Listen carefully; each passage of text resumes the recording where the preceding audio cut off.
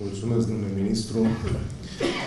Domnule ministru, doamnă director general, domnule vicepreședinte, dragi primari, iubiți fermieri, oameni care îndrăgiți pământul, oameni care respectați uh, munca, bine ați venit la Piatra Neamț la această conferință. Îi mulțumim domnului ministru, ați văzut și dumneavoastră vivacitatea, energia și coerența de care dânsul a dat dovadă și nu vorbim doar de discurs care l-ar face invidios probabil și pe Florin Piersic, dar uh, vorbim și despre faptul că dimineață a fost la videoconferință, ne-l amintim din timpul secetei, în timpul verii, când noaptea uh, dădea declarații de, de pe câmp. Deci e un om care nu doar că se pricepe, și e foarte important acest lucru, dar e un om care iubește și respectă agricultura și pe dumneavoastră toți cei implicați în acest fenomen.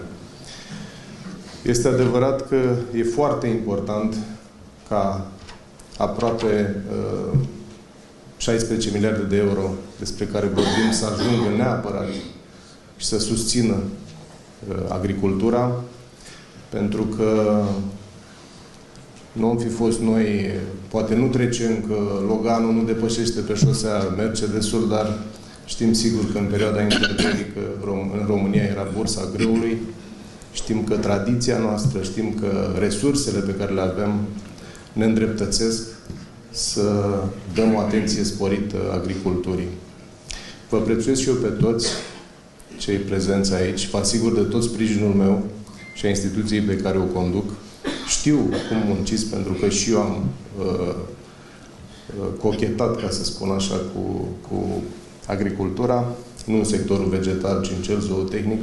Știu ce greutăți întâmpinați și pentru asta și din cauza asta, datorită acestui fapt, vă prețuiesc și mai mult, pentru că, așa cum spunea și domnul ministru, e foarte e important să realizăm cu toții că hrana este Uh, esențială și că activitatea pe care dumneavoastră o desfășurați este una deosebit de importantă pentru noi ca națiune. Uh, anul trecut uh, au fost plătiți de către Agenția de Plăți și Intervenții în Agricultură aproape 69 de milioane de euro pentru peste 23.000 de cereri. Anul acesta încă 22.000 de fermieri nemțeni vor beneficia de acest sprijin.